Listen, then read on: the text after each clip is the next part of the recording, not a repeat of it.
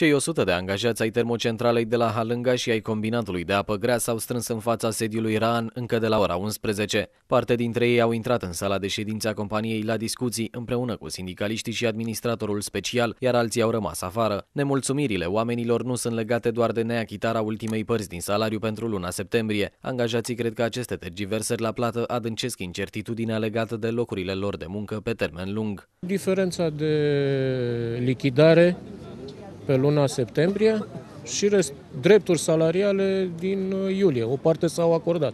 S-au promis că vor fi achitate aceste drepturi salariale și restanțele încă de acum o săptămână. Exact, păi de-aia ne aflăm aici, că nu s-a ținut de promisiune. Drepturile salariale care ne-au fost redate doar, ne-au fost achitate doar parțial în ultimul timp. Deci mai există, mai avem uh, bani pe care trebuie să-i mai luăm.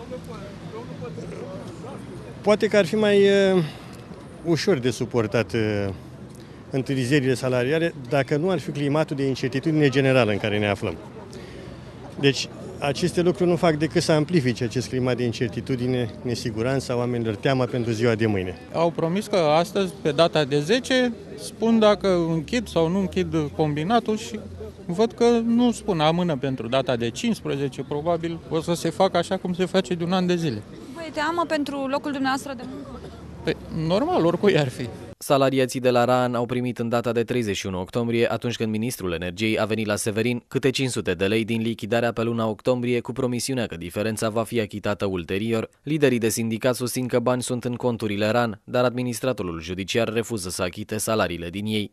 De partea cealaltă, administratorul judiciar al RAN a arătat într-un comunicat de presă că nu achită salariile din cei 25 de milioane de lei primiți la rectificarea bugetară de la guvern, întrucât aceștia au o destinație clară, stabilită chiar de Departamentul pentru Energie al Guvernului când s-au virat banii în contul RAN. Achitarea la zi a restanțelor salariale negociate de sindicate cu conducerea RAN-ului Uh, schimbarea administratorului judiciar, pentru că datorită lui s-a ajuns în situația asta, adică este inadmisibil să stai cu banii în cont de două săptămâni și să nu achizi drepturile salariale.